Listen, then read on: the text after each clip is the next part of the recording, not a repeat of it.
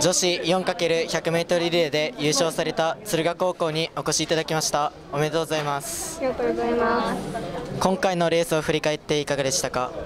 と結果としては1位という結果で良かったですけど、えっと、タイムとしては予選よりも遅くなっていて満足していません。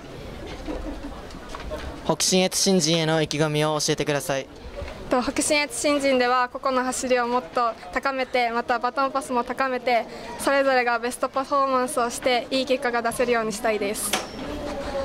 ありがとうございました。ありがとうございました